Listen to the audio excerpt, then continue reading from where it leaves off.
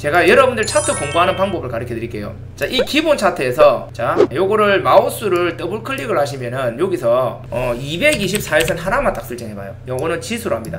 그리고 라인 설정에 들어가요. 라인 설정에 들어가서 다 지워보세요 그냥. 다 지우고 예, 요 224일선만 까만색으로 예, 좀 두껍게 이렇게 만들어봐요. 자 보입니까? 선이 생겼죠? 정상적으로 우하향하는 종목이 아니라면은 큰 틀에서 박스에 갇혀있는 종목이라면 잡으세요 요 까만 선에 동그라미 쳐볼게요 요 동그라미에 닿을 때 여러분들이 잡으셔야 돼요 항상 여러분들이 예, 요 동그라미를 벗어난 이런 위치에서 들어가면은 예, 손실이 커지면서 못 버팁니다. 까만 선이 뭐냐면 1년 동안의 주가의 평균 가격이다. 이렇게 보시면 돼요. 그러니까 내가 지금 까만 선에 예, 플러스 마이너스 한뭐 어, 10%, 뭐 8% 안쪽으로 잡으면은 나는 1년 평균 가격에 잡는 거예요. 그렇기 때문에 1년 평균 가격이라는 뭐냐면은 자 이렇게 보시면 돼요. 여기가 중심이면요. 주가가 예, 이 중심을 기준으로 밑으로 갔다가 위로 갔다 하면서 계속 교차합니다. 교차를 하거든요. 이게 하락하는 중이라 하더라도 이 평균값에 대해서 교차를 해요. 이렇게. 그래서 내가 평균값에 잡는데 예, 우항형 종목이라 하더라도 뭐 크게 걱정할 필요는 없습니다. 그래서 우리가 밥그릇이나 이런 걸 이용해서 매매하면은 더 쉬워요. 그렇게 해서 제가 밥그릇을 만드는 거예요. 자 보세요. 자 여기서 밥그릇이 이렇게 형성이 되죠. 그러면 밥그릇에서 1번 자리와 2번 자리에서는 확률이 떨어지고 충분한 1번만큼의 행보가 나온 자리는 뭐예요? 확률이 높아지는 겁니다. 항상 그런 밥그릇 원리예요.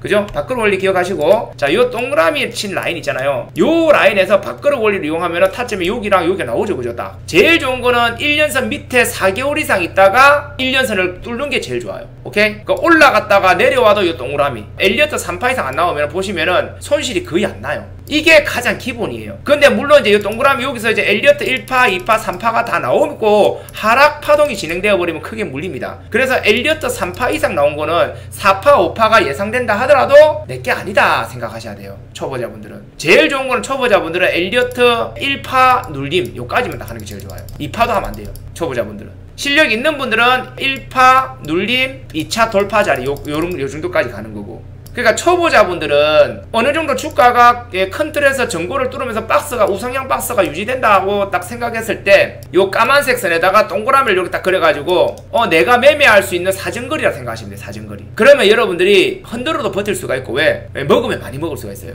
그러니까 여러분들이 손실 나는 거는 왜 그러냐면은 뉴스 떠가지고 주가가 빵 급등을 해요. 사정거리를 벗어나 그래가지고 여기서 사는 거예요 여기서 사가지고 여기서 손절하고 앉아있어요 요것만 기억해도 여러분들이 손실을 날 이유가 별로 없습니다. 그러니까 우리가 봤을 때 주가가 역별해서 우하향하고 있는 종목만 아니면 돼요. 자 여기서 꿀팁 하나 가르쳐 드릴까 또? 자 요게 예, 448일선입니다. 자 요게 빨간색이 요게 448일선 그 다음에 어요 까만색이 224일선이라 봅시다. 요 까만색이 요게 224일선이고 요 초록색이 예, 112일선이라 봅시다. 제가 꿀팁을 하나 드리면요. 여러분들이 매매하는 타이밍이 어디냐면 저점 매매하는 타이밍이 뭐냐면은 원래대로면 아까 전에 제가 그랬잖아요. 주가가 예, 역별해서 우하향하고 있다가 이게 이제 박스로 바뀌는 예, 타이밍이 있어요. 그게 우리가 잡아낸 공굴이잖아요. 잘 모르겠으면은 요 112일선을 뚫어 올리는지를 보세요. 112일선 일단 뚫어 올리잖아요. 뚫어 올리면 이거는 바닥을 다질 가능성이 높아요. 그래서 우리가 역별 종목 매매할 때는 반드시 이 6개월 선을 뚫어 올리고 나서는 우리가 아까 전에 말씀드렸듯이 224일선 매매나 뭐 이평 때리기 매매나 여러 가지 매매 가능한 거예요. 그러니까 여러분들이 어 많이 빠졌네 하고 이렇게 요때 들어가면은 예, 이게 어디까지 빠지 몰라요. 근데 이게 빠지는 게 멈추고 이제 반등의 기운이 오면 맨 처음에 112일선은 먼저 예, 공략을 합니다. 야들이 공략을 했을 때 뚫어 올린다. 그러면 여기서 바닥이 만들어지는 겁니다. 이해돼요, 이해 안 돼요? 요 까만 선에서 붙었을 때만 잡는 기준 요거부터 시작하세요. 요거부터 시작해가지고 이제 밥그릇 기법도 적용을 시키고 하이힐, 공구리, 그 다음에 어, 어 파라볼릭이나 어 구, 일목구형태 구름대를 더 추가를 하고 그거에 대한 경험치까지 만들어내면은 여러분들이 금방